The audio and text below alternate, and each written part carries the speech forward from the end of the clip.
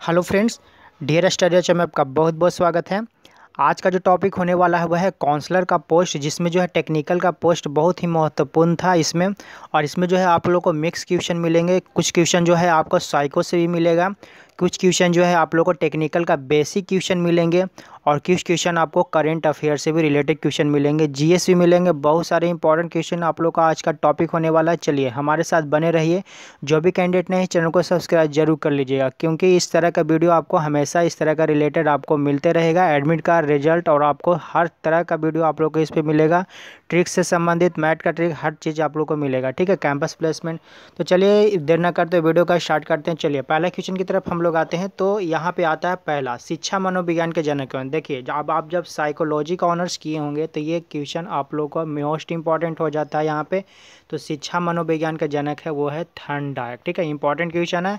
आप लोग को एग्ज़ाम से पहले इस चीज़ को आप लोग को देख करके जाना, ठीक है? कोई भी क्वेश्चन इससे हमेशा एक तरफ़ से क्वेश्चन पूछा जा सकता है। तो शिक्षा मनोविज्ञान के जनक हो गए थर्नडायक उसके बाद आधुनिक मनोविज्ञान के जनक कौन है? तो विलियम जेम्स हैं, ठीक है? आधुनिक मनोविज्ञान के जनक है विलियम जेम्स शिक्षा मनोविज्ञान के जनक है थर्नडायक ठीक है, उसके बाद आते हैं, बुद्धि परिश्रम के जन्मदाता हैं तो बिन्ने बुद्धि से बिन्ने आ जाएगा, शिक्षा से थर्नडाइक आ जाएगा, आधुनिक है, मनोविज्ञान है तो विलियम जेम्स आ जाएँगे। ठीक है, प्रयोगात्मक विज्ञान के जनक है विलियम बिंट हो गए, शक्ति मनोविज्ञान के जनक, वॉल्फ हैं आत्म प्रत्ययन का अवधारणा, विलियम जेम्स हो गए, विकासात्मक मनोविज्ञान के जनक हैं, जॉन पियाजे आधुनिक वर्गीकरण का जनक है एमिंग भाव देखिए इंपॉर्टेंट क्वेश्चन है और हम जल्दी जल्दी बताने की कोशिश करेंगे यहाँ पे, ठीक है? चलिए।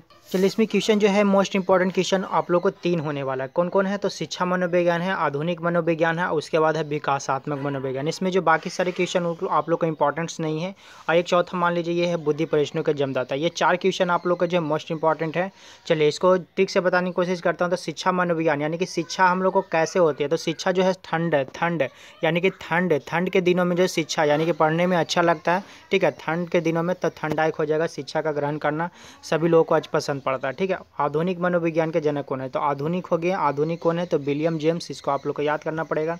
उसके बाद है बुद्धि बुद्धि से बिने बिने से बुद्धि, बुन्नी से बुद्धि, इसको इंपॉर्टेंट है, इस तरह के आप लोग को रिलेटेड करके खुद से भी याद करने की कोशिश कर सकते हैं, ठीक है? उसके बाद आता है विकासात्मक मनोविज्ञान तो विकास, विकासात्मक मनोविज्ञान का आना जाएगा? तो प्याज प्याज जो है अभी विकास में आ रहा है, ठीक है? महँगा भी हो रहा है, घट भी रहा है तो प्याजे से प्याज आ जाएगा विकासात्मक। विकास कौन करा? तो प्याज। जिन प्याजे आ जाएगा, ठीक है? चलिए, अगला क्वेश्चन की तरफ़ बढ़ते हैं तो मोस्ट इंपॉर्टेंट क्वेश्चन आप लोग को रहने वाला है। और अब आते हैं टेक्निकल के क्वेश्चन तो ठीक है टेक्निकल के क्वेश्चन पे परम शून्य ताप कितना होता है? तो माइनस चार सौ उनसठ पॉइंट चालीस डिग्री फॉरन हाइट पर होता है। एक मीटर का अश्व शक्ति कितना होता है? सात सौ पैंतीस पॉइंट पाँच वाट होते हैं। एक किलो वाट घंटा बराबर कितना? एक किलो वाट घंटा बराबर कितना होता है? वन पॉइंट तीन, यानी कि one point three four H P होता तो ये क्वेश्चन जो है असिस्टेंट लोको पायलट में भी क्वेश्चन में पूछा गया। ठीक है, एक किलो वाट घंटा। बहुत सारे क्वेश्चन पूछे गए तो टेक्निकल का क्वेश्चन इंपॉर्टेंट है तो हमारे साथ बने रहिए। वन बी बराबर क्या होता है? तो छत्तीस गुने दस के पाँच जूल होता है। एक टेस्ला बराबर दस के पावर चार गौस होता है। और दस के पाँच चार गौस होता है ये पूछा था दिल्ली मेट्रो एग्ज़ाम में तो ये मोस्ट इंपॉर्टेंट है क्योंकि बेसिक चीज़ें हैं जो है हमेशा किसी न किसी एग्ज़ाम में हमेशा पूछते हैं। एक डोमेन बराबर होता है दस के पावर अठारह से लेकर के दस के पावर इक्कीस परमाणु होता है। डोमेन क्या होता है तो ये जो चुंबक होती है चुंबक में जो है डोमेन पाया जाता है उसमें जो दस के पावर अठारह से लेकर के दस के पावर इक्कीस परमाणु पाया जाता है। ठीक है उसके बाद आता है कि धारा की गति प्रकाश की गति के बराबर होती है। ये मोस्ट इंपॉर्टेंट क्वेश्चन है बहुत सारे एग्ज़ाम में टेक्निकल क्वेश्चन में ये पूछे जाते हैं। तो धारा की गति जो होता है वो प्रकाश की गति के बराबर होता। है प्रकाश की गति होती है थे तीन घंटे दस के पर आठ मीटर पर सेकंड होता। था ये मोस्ट इंपॉर्टेंट क्वेश्चन है।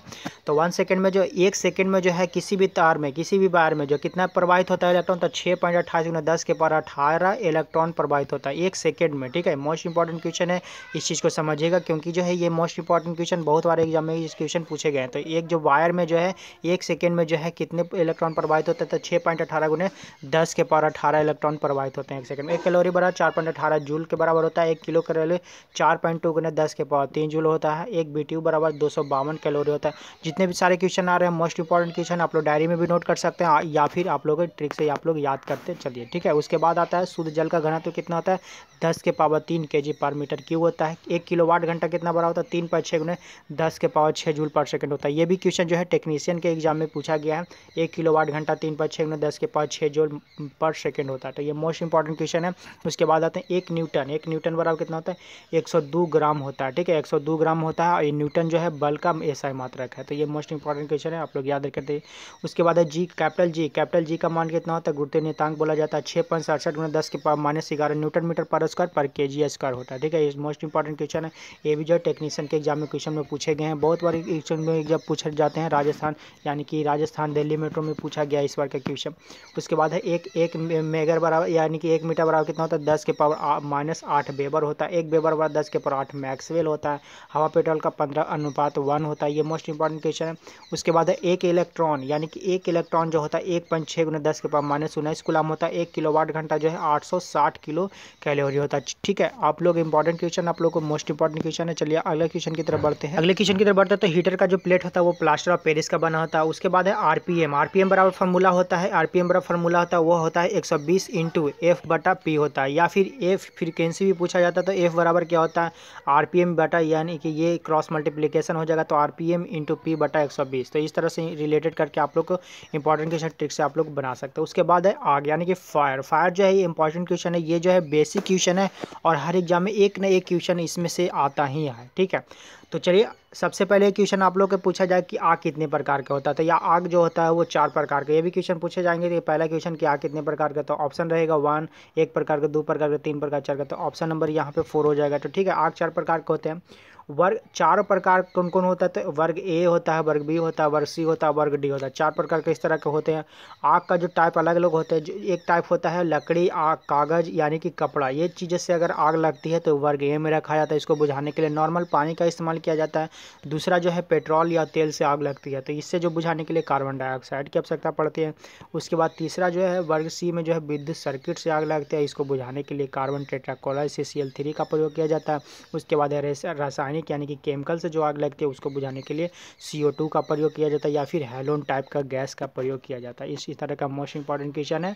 आप लोग याद करते चले ठीक है, उसके बाद है किक चौप का पहला नियम तो किक का चौप का नियम जो है, ये दिल्ली मेट्रो एग्ज़ाम में पूछा गया हम किक चौप का जो पहला नियम है जो उसमें जो है योगफल बराबर होता है। ये मोस्ट इंपॉर्टेंट है। किक चौप का पहला नियम योगफल बराबर होता है। और ये जो है, पहला जो नियम है, वो केसीएल के सिद्धांत पे काज करता है। के के सिद्धांत पे जो है, पहला नियम काज करता है।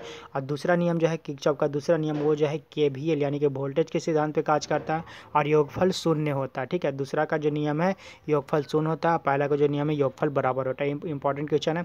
अगला जो क्वेश्चन है कि ओम का नियम जो है, रेखीय वक्र पर प्रदर्शित करता है, इस तरह का रेखीय वक्र पर प्रदर्शित करता है, ठीक है? मोस्ट इंपॉर्टेंट क्वेश्चन है। वीट स्टोन ब्रिज का जो है, अज्ञात प्रतिरोध ज्ञात किया जाता है, वेंस जिससे जो है, आवृत्ति मापने के में किया जाता है। टनल डायोड एक टनल डायोड होती है डायोड जो है, बहुत प्रकार के होते हैं, और ये इस तरह का डायोड का फिगर होता है, ठीक है? इस तरह का आप लोग को फिगर बना बनाता हूँ इस तरह का फिगर होता है इस तरह से ठीक है? तो ये नॉर्मल डायोड है और डायोड का प्रयोग पर, प्रकार जो है बहुत अलग अलग प्रकार का होते हैं। उसके बाद है टैनल डायोड है वेक्टर डायोड है आ, उसके बाद रिवर्स डायोड है जेनर डायोड है बहुत तरह के आपको डायोड के प्रकार मिलेंगे ठीक है? ये बेसिक क्वेश्चन है। टैनल डायोड का जो बना होता है वो गैरियम आर्सेनाइड से बना होता है। डायोड यानी कि डायोड के आर पार का जो विभवान्तर होता है वैरियर विभव कहलाता है। जेनर डायोड का मुख्य कार्य होता है आउटपुट वोल्टा को स्थिर बनाना ठीक है? जेनर बायो जो है रिवर्स बायस में काज करता है।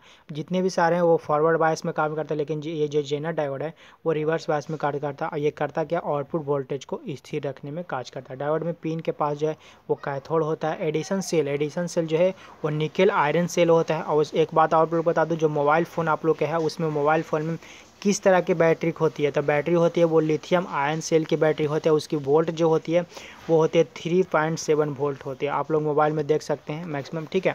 एडिशन और सबसे जो है वो विकसित हो, है, वो है लिथियम आयन सेल का, जो आपको बैटरी में लगा तो सबसे ज़्यादा आप लोग को टिकाऊ माना गया है, ठीक है? उसके बाद एडिसन सेल जो है, निकल आयन सेल का बना होता है। बैटरी चार्ज करने के लिए जो है सैंड का प्रयोग किया जाता है।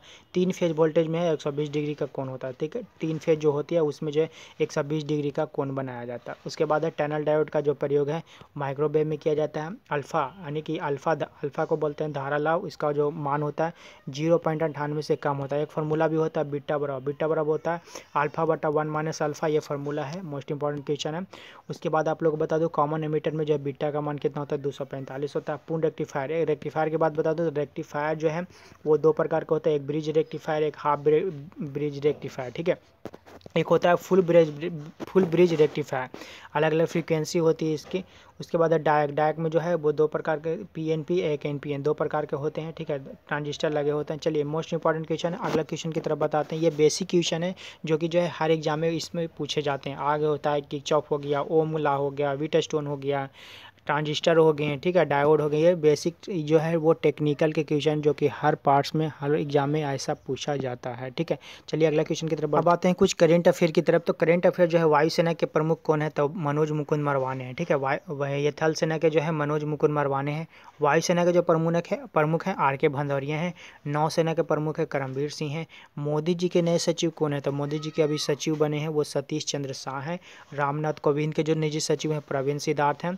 वन कर्मर पुरस्कार 2020 में मिला है, के सिवान को मिला है बीसीसीआई के पॉली उम्र पुरस्कार जसप्रीत बुमराह को मिला है, उसके बाद है फार्मूला वन ग्रेपिस जो मिला है लुइस हैमिल्टन, ये मोस्ट इंपॉर्टेंट क्वेश्चन है लुइस हैमिल्टन, ठीक है, ये एग्ज़ाम में ज़रूर आएगा क्योंकि ये बहुत फ़ेमस रहा है लुइस हैमिल्टन, ठीक है, स्पेनिश और ग्राम्पी और पुर्तगाल, ये तीनों जीता है, स्पेनिश पुर्तगाली ग्राम्पी जो जीता है, ये होता है कार रेसिंग का, ठीक है तो लुइस हैमिल्टन जीता है तो अगला जो है नबार्ड के अध्यक्ष कौन है, गोविंद रजू चिंताला, जो चिंता करेंगे वो नाबार्ड के अध्यक्ष हो जाएँगे। प्रकलन समिति के अध्यक्ष है, गिरीश पावाट हैं। लोकलेखा समिति के अध्यक्ष अधीर रंजन चौधरी जी हैं।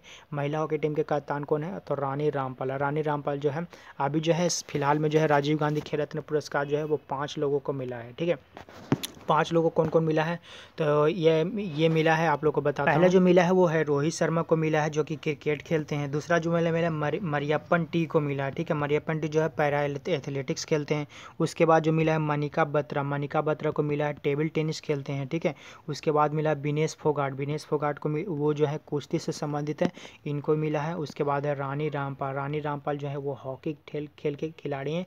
ये जो टोटल जो है पाँच लोगों को जो है आप लोग को मिला है ये मिला है राजीव गांधी खेल रत्न पुरस्कार। मोस्ट इंपॉर्टेंट क्वेश्चन है, आने वाले एग्ज़ाम में भी आई इसके लिए भी, ठीक है? 2020 का साहित्य नोबेल पुरस्कार किसको मिला है?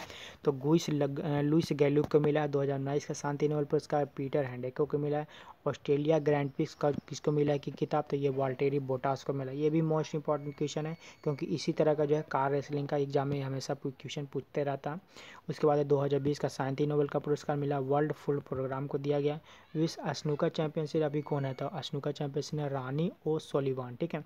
अभी जो है मुंबई मुंबई आईपीएल के कोच कौन है? तो महे, महिला जो है जयवर्धन है, महिला जयेंद्र, जयवर्धन है।